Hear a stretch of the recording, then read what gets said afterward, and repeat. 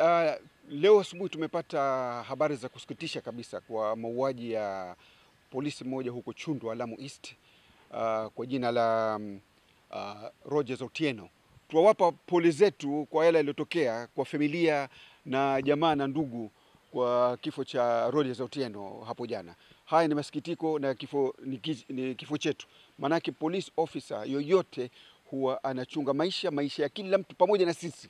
Kwa hivyo kifo chochote cha polisi kinatuathiri kina- kina sisi wenyewe, na mm, hii haya ni mauaji ya pili uh, katika miezi fulani aliopitia. Mwaka jana aliuliwa Hesbon uh, Okwema uh, katika area hiyo hiyo, lakini kitu ambacho tunatia wasiwasi mpaka sasa kwamba mwaka jana apouliwa uh, Okemwa, maaskari walikwenda wakapiga watu uh, sitini na mbili wakawapiga watu ambao hawana hatia kabisa.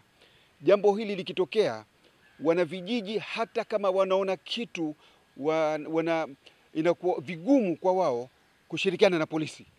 Polisi lazima watafute mikakati ya kushirikiana na watu.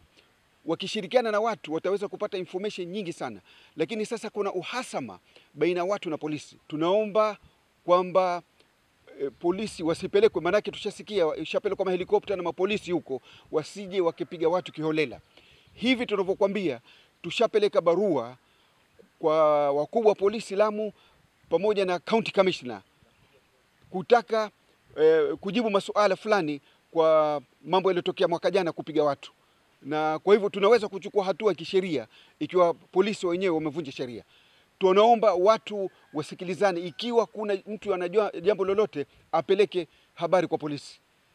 Hii ndio msimamo wetu.